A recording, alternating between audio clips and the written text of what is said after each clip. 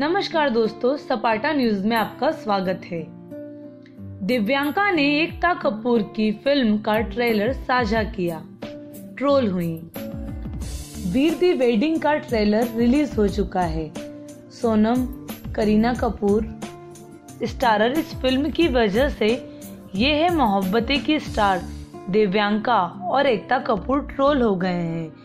वीर Di Wedding film को रिया कपूर और एकता कपूर ने प्रोड्यूस किया है।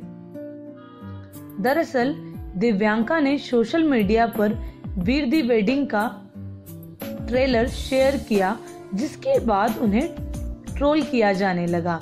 हमेशा की तरह इस बार भी दिव्यांका ने ट्रोल्स को मुँह तोड़ जवाब दिया है।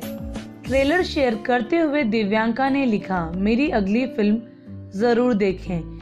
इसमें सभी एक्ट्रेस बेहद खूबसूरत लग रही हैं। आपको बता दें कि एकता और दिव्यांका बेहद करीबी दोस्त हैं इसलिए दिव्यांका की वीडियो शेयर करने के बाद ही एक यूज़र्स ने इस फ़िल्म को बायकॉट करने की बात कही, जिसके बाद दिव्यांका, एकता कपूर के बचाव में उतर आई दिव्यांका ने यूज़र को मुँह तोड़ जवाब देते हुए लिखा फ़िल्म की बजाय आपको बायकॉट न कर दिया जाए। वीर दी वेडिंग फ़िल्म के ट्रेलर को खूब पसंद किया जा रहा है।